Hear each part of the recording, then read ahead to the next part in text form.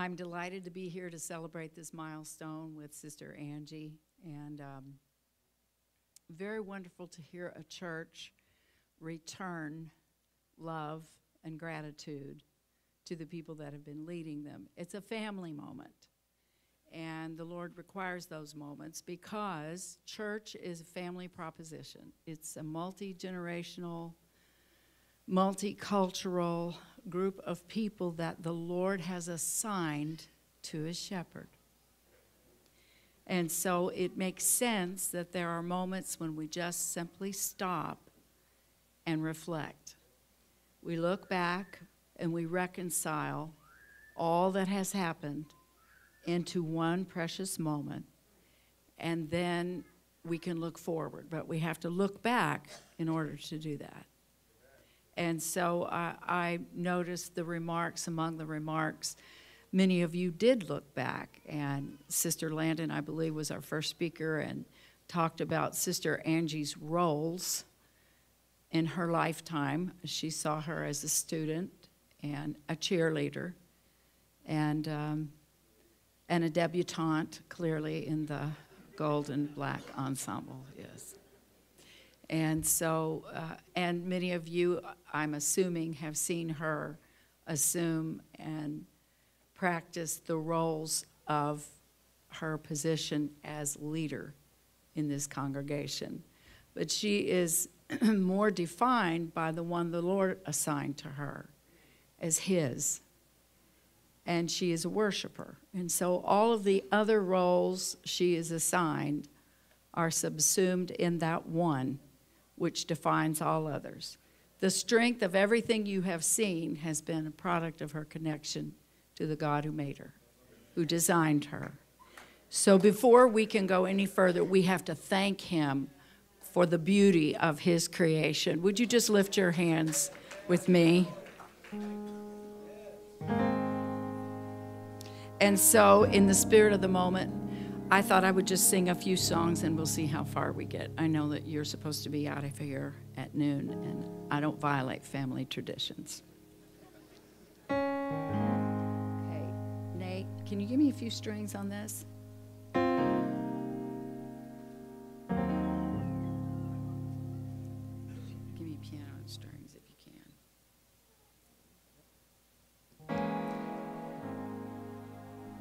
So I'm just going to dedicate this to you. And because I'm older than she is and older than Brother Wright, I'm just going to I'm just going to do this thing. He's already said we're coming back next month. There's not much he can do.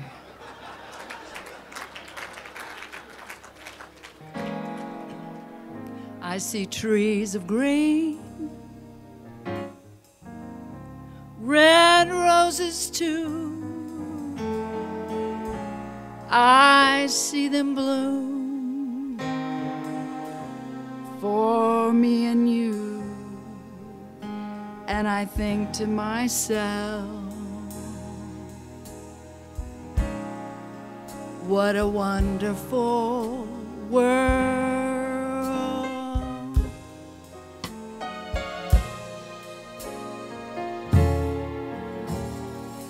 See skies of blue, clouds of white, the bright, blessed day, and the dark, sacred night. And I think to myself, what a wonderful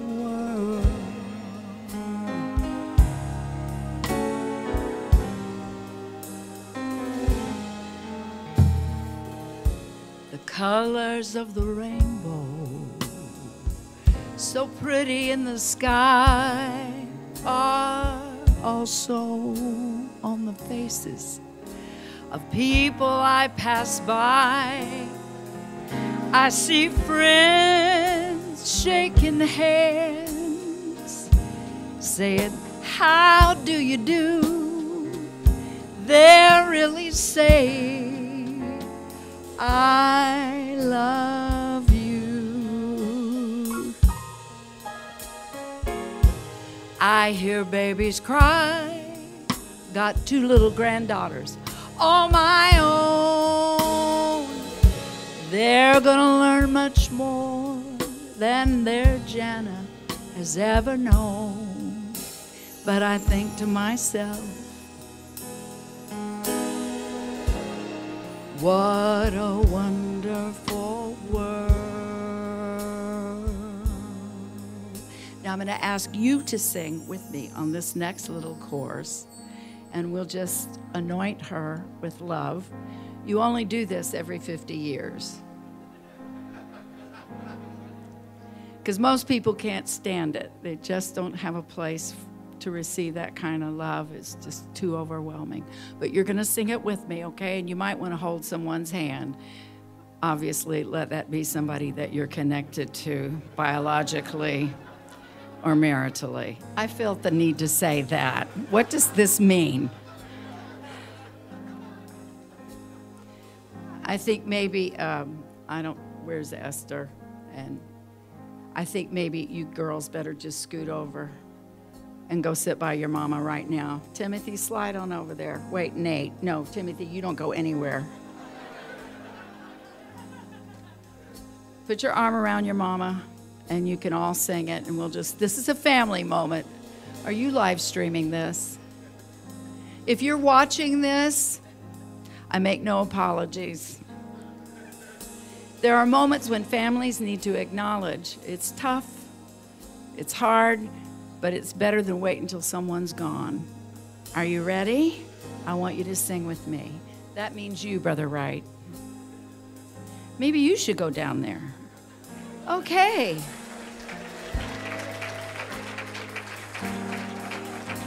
Now he is petrified. You didn't do tootie ta, but you will do this.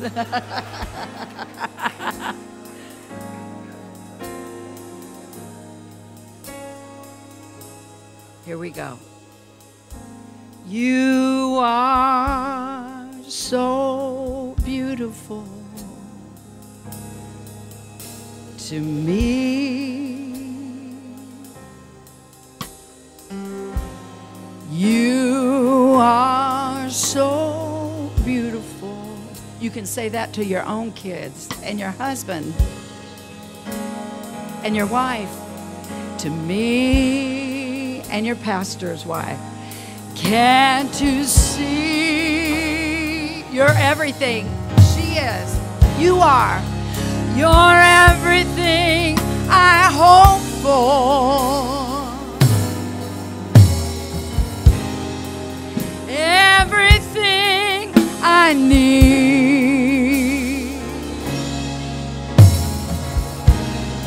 You are Now stand to your feet and let's sing it to our Maker, to me.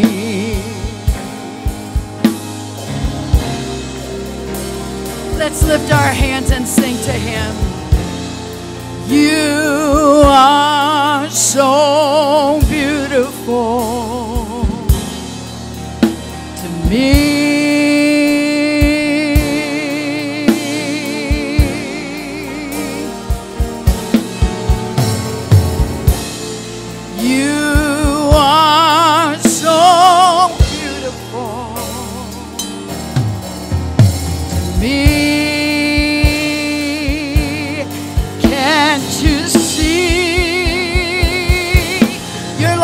Guiding light. You're like a guiding light shining in the night. Shining in the night. You're heaven's gift. Heaven's gift to me. Thank you, Jesus. Sing it to the Lord. You Every day of my life, I'm singing again. You. And I love you more each day. You. To me. To me.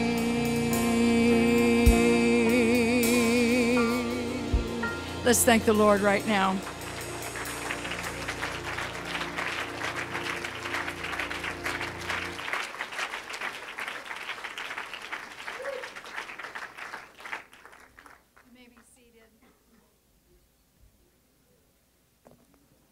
Thank you, Pastor Wright, for indulging my whimsy. I think this will be memorable for all of us. it's always precious to be invited to celebrate a family's moments, and especially this family, whom we have known since the children were very, very small. And I haven't been in their lives as they became young adults, so it's especially poignant to me. While I've been living my life as an adult, they've been growing to adulthood, and here they are now. And it's been amazing. I was 14 when your pastor's wife was born. I was living in California, so I had no knowledge of her. But as God designs everything to be beautiful in its time, so He allowed our paths to cross. And it's been wonderful to celebrate moments with them. Some have been difficult, as your pastor alluded to. So it's especially wonderful to be here in a moment when things have reached resolution and they've battled their way through some moments, as has this congregation. I don't think there's a congregation in the United States or the world that cannot say they have fought their way to this present moment. Looking back over the last 15 years that were 2020,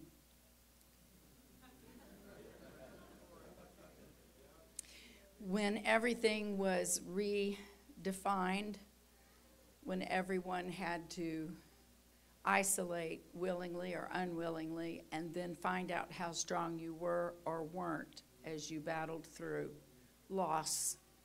Everybody lost something time, friends, health. There was loss. And I think it is especially a moment of poignancy to see how many of you battled your way through your losses to be here today. I celebrate you. It's wonderful. Wonderful to see you. Wonderful to be with you. so, as we stand here celebrating this Jubilee with friends and family near and far, this milestone moment was recorded in the Word of God. In fact, He commanded Israel to celebrate a jubilee every 50 years. So generally, that only happened once in your lifetime. It was that special. I know that there were Sabbaths every seven years. The land was supposed to get a rest. You're just supposed to give everything a rest. That's called winter, where I'm from. And I shared with your pastor and wife, we are inland Seattle. We have no coastline but it's gray more than six months a year in Ohio. This is a well kept secret. This is why people are so rabid about the Ohio State University and the Bucks, because they don't have anything else to do. I'm sorry. That and classic cars. If you hear bitterness in my voice, I came from the Mid South where the sun shines all the time, whether it's rainy. Well, actually, it does shine sometimes in the rain and even after tornadoes, we see the sun. In Ohio, we don't have tornadoes, but we don't have the sun either. I don't know why I'm on this, but I was grateful to see Christmas lights when I got here. That's all I can say about that. And Timothy did me the honors of plugging them all in when I left so I could see your lights. Don't take them down. Not till after the marriage conference. Thank you. We need a little Christmas around here. If I'd have thought of that song, I'd have probably sung it. So, I have to acknowledge the fact that the Wrights family is growing. Jalen and Jacob, the two J's, have joined the clan. It's starting to sound like a ranch. Did notice the markings that were on the back of the seat in your dad's car, the initials of Chester Nathaniel Wright and Timothy Jude. Yes, well done, boys. Scotch tape. Excellent. so now I challenge Jalen and Jacob. You're going to have to find a place to scotch tape your initials in that car. It's on. Okay. Evidently, they tried and someone removed the evidence. So, how did I get here? This is what your pastor's wife was asking last night. when I walked in the door and she rounded the corner.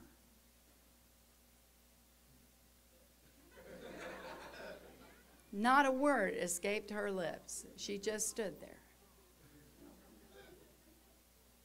And I kind of moved forward, and she just stood there.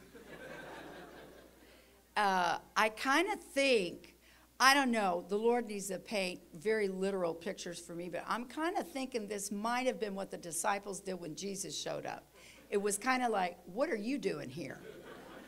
I'm like, You know, I never thought I'd be that thick, but clearly, and I love you, but it was, she was just like, she walked up to me she she regained her composure and then she started touching my face. Are you real? Are you here? Are you in my house? So i told the kids that whatever they do will have to surpass that moment and you'll know that's the moment against which all future moments are measured. I think maybe the announcement of a baby might do that. That might it might it might just, that i have to know I have to know the minute you tell, whichever one of you is first. I got to know. Did she surpass that moment?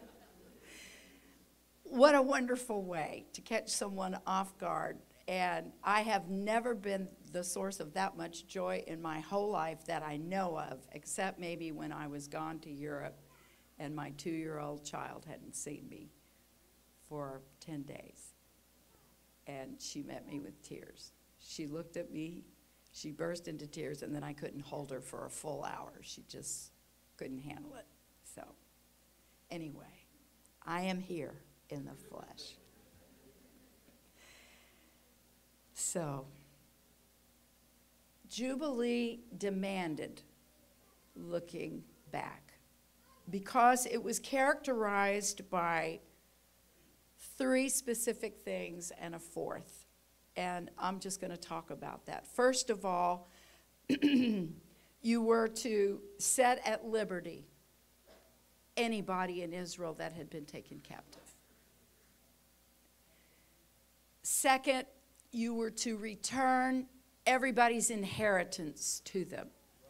And that inheritance, as we know, was Joshua's responsibility.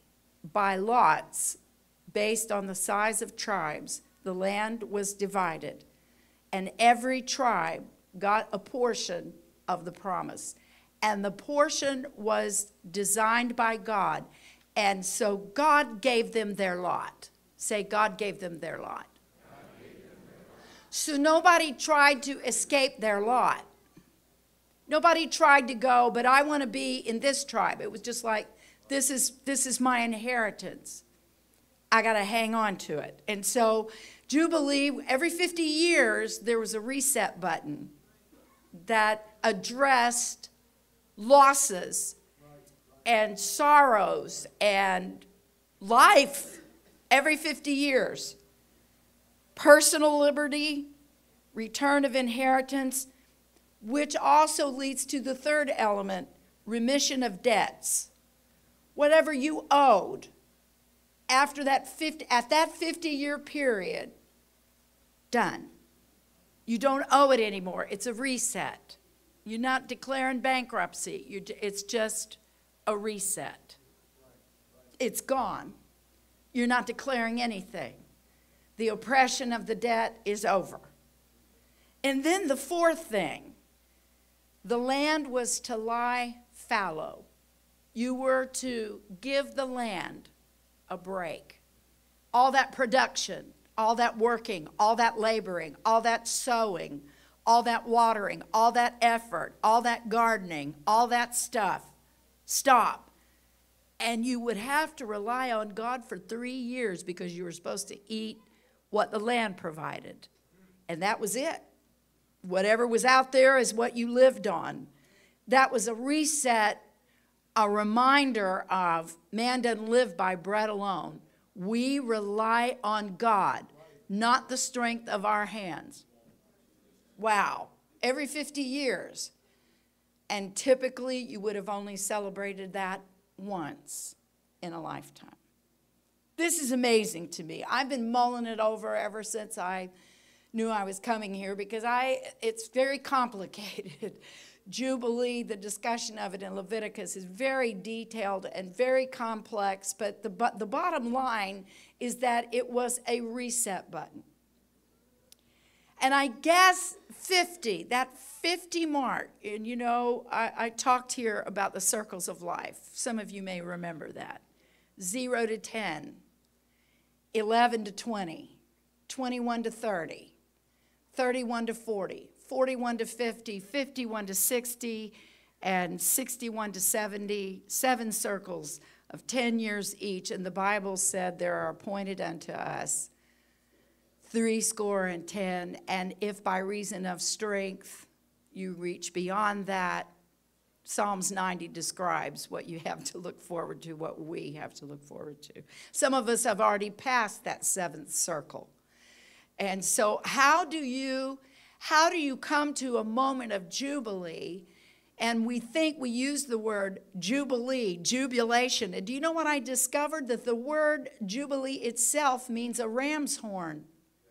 So it is associated with a shout, it's associated with joy, a proclamation, because the implication is everything you haven't been able to figure out. All of it, all of it. You say, well, why do we even have to deal with it? Why do I want to remember it? Why do I want to? Because it's like the loose ends of the talit, and you know what that is the prayer shawl. And every one of those loose ends was supposed to represent what? 663 ordinances. And I've often wondered, what do I do with the loose ends of my life? And of course, we all have a story and we have ours. And COVID wasn't kind to us, but the year before wasn't, and the years following haven't been. I have watched God allow some traumatizing things to happen in my presence before my face, and I'm, I'm just gasping, trying to understand. We need a jubilee. We need a jubilee. And when they celebrated this jubilee, they would announce it on the Day of Atonement. They'd blow that ram's horn. This is jubilee. So at the same time, it was extremely sobering because that's a day when you afflict your soul and you have to stop and think. And I'm reminded of the scripture in Ecclesiastes 3 and 15 that which hath been is now. This is a biblical way of saying history repeats itself. And that which is to be hath already been. And God requireth that which is past. So that when you come to a jubilee, it's not just a party. It's not just a party down and yay, let's celebrate. It is a deliberate command to stop and look back. A lot of us are horrified at the thought of looking back. I'm looking for the face of the sister who spoke and said, He brought me out of miry clay. I could see her with her siblings jumping in that clay until they realized that their feet were held. And we're made of clay, and so there's something poignant about it being stuck in yourself. just stuck. Not because you want to be, but to the people of God, there was a promise. God knew there were going to be seasons of feast and famine. He knew there were going to be hardships. He even knew there was going to be poverty among his people. But he said, There is a moment when the trumpet is going to announce it's done, you're finished, it's going to happen to you. What's going to happen is I'm going to set you free. You're going to get everything that was yours and you lost.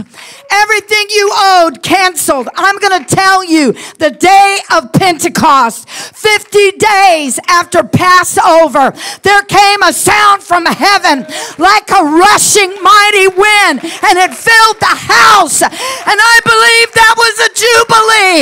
And if you've received it, that was the first sound of the trumpet to you that God was declaring your God was declaring your freedom. God was declaring your inheritance. God was removing your debts. Mercy did what nobody else could do. Jubilee.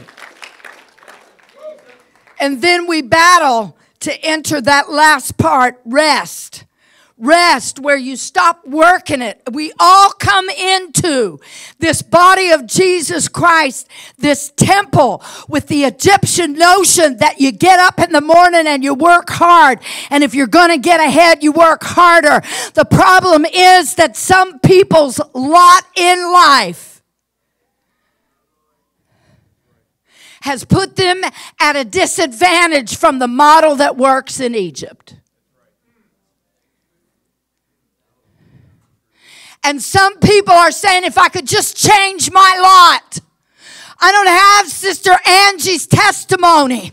What I'm trying to tell you, whatever God gave you, whatever promises He made, whatever you came from, that Bible is just as much your promised land as it is hers.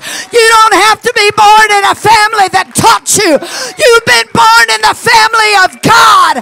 You have an inheritance with the people of God. You are the righteous redeemed, saved by grace. Hallelujah. Lift your hands and praise the Lord.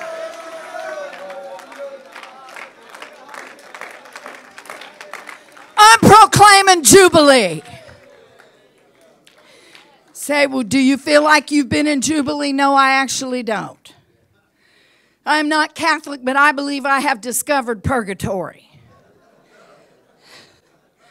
Selah.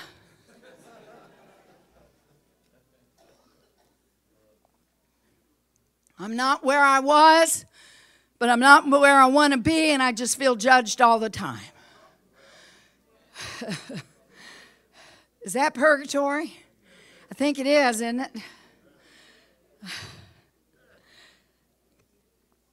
But there is a moment of jubilee.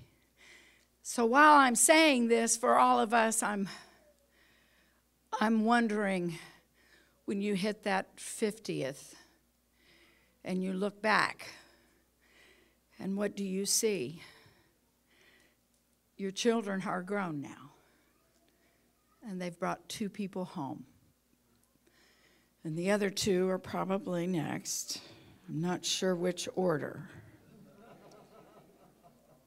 but I suspect it won't be long. And then we'll begin another phase of your life where you begin raising their children. Yes. Yes, once you start, it never stops. You're never without children once you have yours, because then you have theirs. Yes. But there's something powerful about the promise of personal liberty, and I want to dwell on a couple of these, if I may, for just a little while. You know what the Declaration of Liberty implies? That somehow you got captive to something. Is that possible to be in Israel and because of hard times, because of circumstances? I don't know. And here's what's so sad in that 50 year period from the last Jubilee, moms and dads could make bad decisions and their kids could wind up with. I got sold. I mean, it's just, you say, does it happen in Israel? Are you kidding me? Things happen. I'm looking at families in this church to whom things have happened. Maybe through no fault of your own, but you're the product of somebody else's circumstance and you may feel trapped. Implied captivity is what personal liberty suggests. That somehow it doesn't say, it just said if your brother got in poverty and and and because he was trying to figure out a way to live, he sold off his children. It's in Israel? Yes. Now, we talk about human trafficking here, and it's, it's, it's, it, that evokes images that I'm not talking about. I'm talking about people that could not feed their own kids, people who had to make a decision to entrust the lives of their children to somebody else because they didn't have what it took. And there are a lot of times that families come to church and they are grief stricken by what they did or didn't do in the lives of their children, and they are held captive to their own personal losses. See, I don't want to talk about it. I want God requires what's past. If we're going to move forward, we got to reconcile it. And this year of Jubilee, it's like, I don't know how to fix that. But the Lord said, I'm going to fix it. I am going to set you free. I'm going to liberate you from the three things that hold people back. I am captive to the memory. I am captive to the moment. I am captive to the circumstance. It happened. I have the scars. It happened. Jesus was captive to the moment. Jesus was held captive by the nail. Jesus was held captive and suffered until he died. But on the third day, because he wanted you to know you could be free from your past, he got up. And I don't care. I'm not just talking about being free from sin. I'm talking about what you've suffered since you became a child of God. He says there is a liberty wherewith Christ Christ will make you free. I'm not talking about the first time you spoke in tongues. I'm talking about what you've been dragging around with you for years. Pain and suffering. I came to proclaim liberty.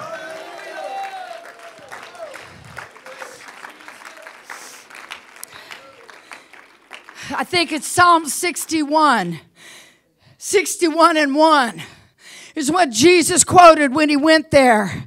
That's not it. Not Psalms. Isaiah is what I'm saying. Isaiah 61 and 1, when he said, The Spirit of the Lord God is upon me because the Lord has anointed me not to take you to your past, to cast you down, to bring up the same thing over and over and over again, to preach good tidings to the meek. You can't heal yourself, but there is a healer in the house. You can't deliver yourself, but there is a deliverer in the house house. Hallelujah. He sent me to bind up the brokenhearted. I'm proclaiming healing this morning to your broken heart, to proclaim liberty to captives, liberty to captives. Sister Angie, what I want for you in this church is to set you free from whatever's held you captive in the last 50 years and set you free to go forward in your mind, in your thoughts, in your body till Jesus comes. Lift your hands right now. Hallelujah. Liberty.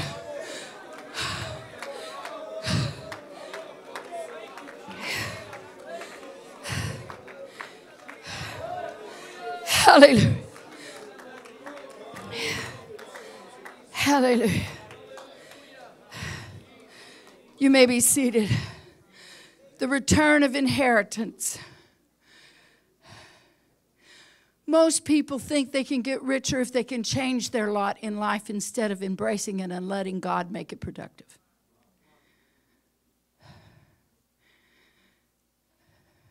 I think I'm going to say that again. Most people think that if they could just change their lot, the circumstances, birth,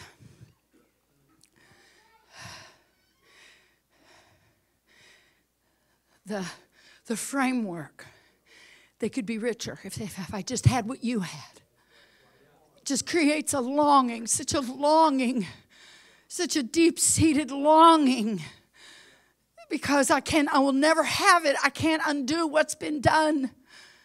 But what you don't know is God already gave you a lot. You have a lot in life. It may be 20 by 20, it may be 10 acres, 15 acres.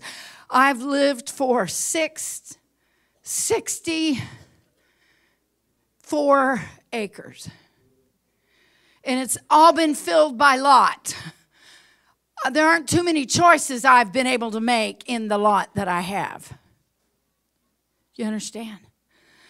My life is consistent of just putting one foot in front of the other, and that's how I wound up here today. But God gave me a lot. God knows when we feel loss. You see, the loss of inheritance implies I lost what was supposed to be mine. A lot of people are filled with longing because they know they're missing something they thought was theirs. They're missing it. And the only way they have of knowing it is they covet what someone else has. And that goes against the word of God. You're not supposed to covet. So, evidently, what somebody else has is not supposed to be a driver to get you to where you need to be. I've been saying, Lord, you put me here. Now, what is it you're trying to teach me? This is my lot. This is my lot in life. I can't change it. It's my lot. It looks like a mess. Some of you turn around and look at your life and go, There's not much, there's not a lot here. And he says, Yes, there is. It's what I've given you. I don't know how to cultivate it, but I do. I don't know how to make it productive, but I do. I gave you the lot. I want you to participate with me. I want to show you what your lot is and how it becomes productive under my hand. I want to return to you what's been taken from you. You didn't even know it was yours. And you've spent hours and years of your lot chasing clouds and rainbows when there's real stuff there. He said, This year of Jubilee, I'm going to give it back to you what the cankerworm took and what your own ideals stole and what comparison took. I want you to accept your lot.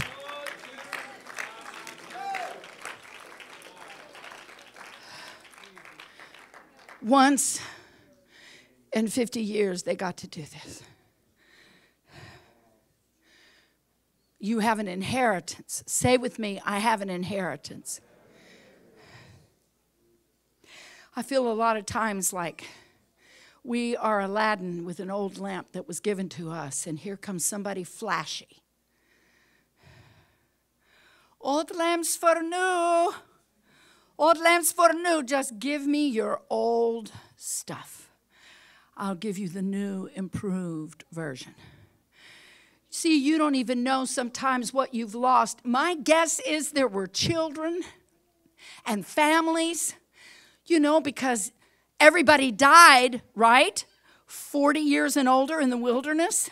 So when Joshua handed out everything, these were to kids who were, were young, 40 years and younger. They weren't there when Moses said they were babies and uh, they didn't have that heritage of, they heard stories, but, but I'm going to tell you something, young people. There is an inheritance thing here. And uh, you say, well, I want to play the drums and I, we want to talk about your lot in life. And, and some of you are just coming in and you're going, I don't even know what's going on here.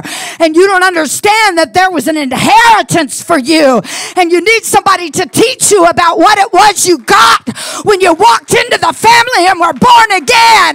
Because you can lose what you don't know you have.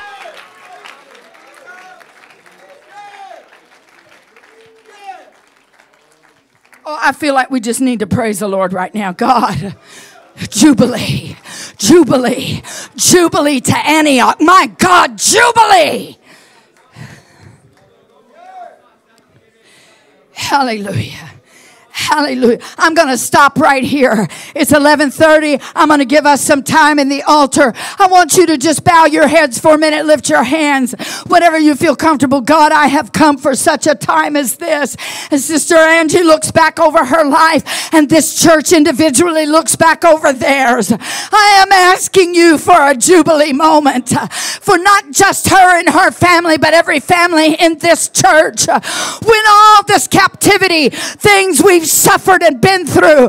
God, that we can release, be released and release people we have held captive through unforgiveness and bitterness. I want to let it go. I want to let it go. This is my jubilee. I don't want to look back again and see that coming after me. God, in your name, I want my inheritance. I want what's mine. It may be a garnet, it may be a diamond. What I have may not mean anything to anybody else, but you gave it to me by lot. Shut up. I feel like in this church there are some keepsakes. I want you to press your way through right now.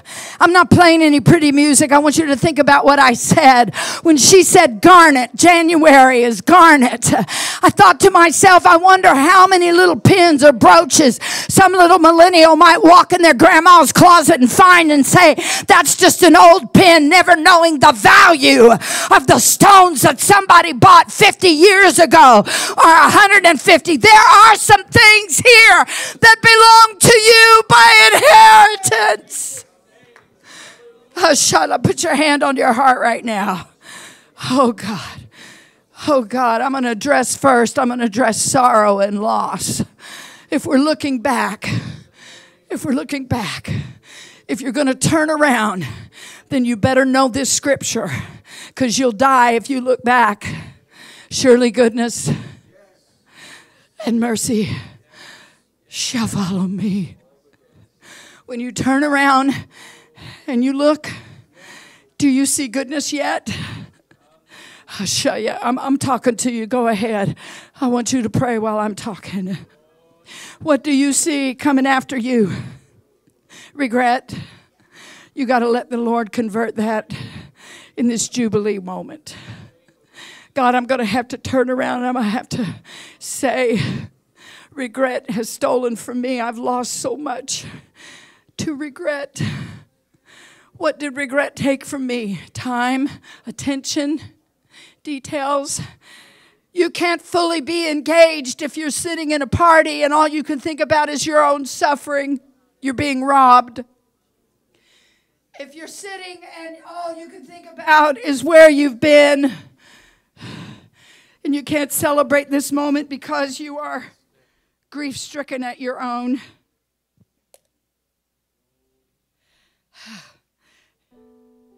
I'm creating a moment. Antioch.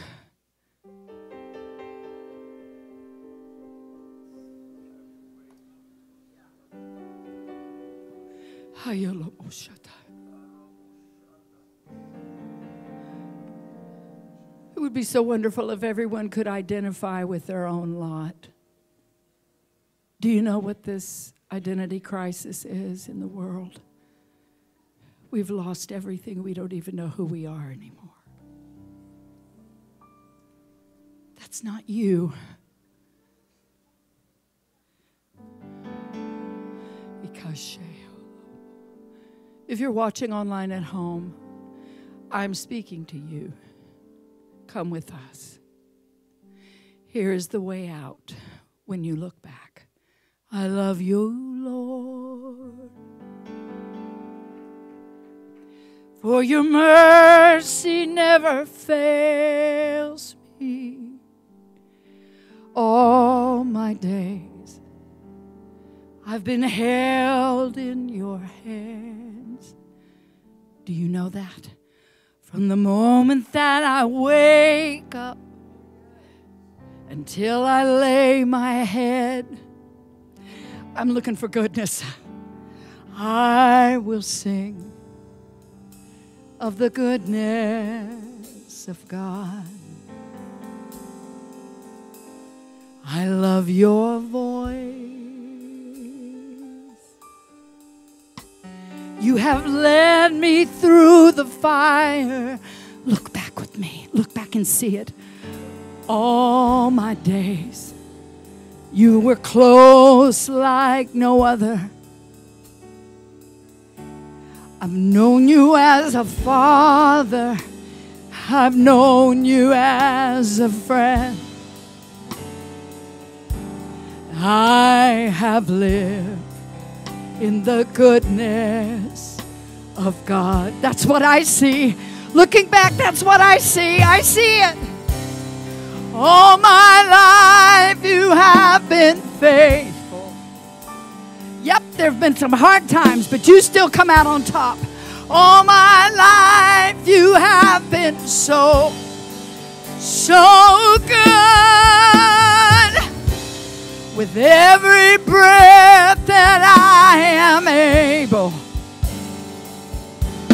I will sing of the goodness of God. I'm just going to give you a moment to think so you can participate in this celebration of goodness and mercy. Now you say, I can't because of that is the one thing right there that the Lord wants to set you free from, right there. That thing that keeps you from going, oh, yes, but my sorrow is greater than the goodness. Nope, nope, nope. It's time right now for the goodness to swallow that up. How, how can I? I, I, I but you don't know. No, but the scripture doesn't. It said, and we know that all things, ha ha, loose ends, all loose ends work together for good to them that love God. I know you love God or you wouldn't be here right now. You didn't have to get up this morning. You didn't have to come here. You say, I'm not like you people. God knows who you are. Quit judging yourself so harshly. You came, didn't you? That's enough for me. That's enough for God. You came, you're here. Come on, let the goodness swallow up the loose ends. Say, it's not goodness I need, it's mercy. You don't know what I've done. Nope, I don't, but I know who does. Who is he that it condemneth? It is Christ that justifies. Hanging next to a thief who actually admitted, Yep, I did it, I did it. And Jesus said, You be with me today. Oh, I want you to sing with me. I love your voice. Sing it. You have led me through the fire. Praise team, come on up. In darkest night, you are close like no other. I have known you. I've known you as a father. I've known you as a friend. Sing, and I have lived in the goodness of God. Oh, yeah. All my life you have been faithful.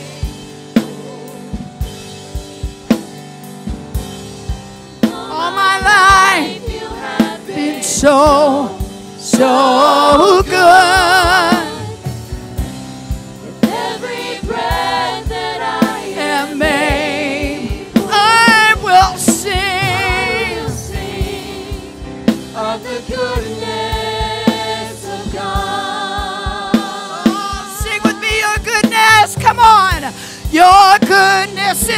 running after.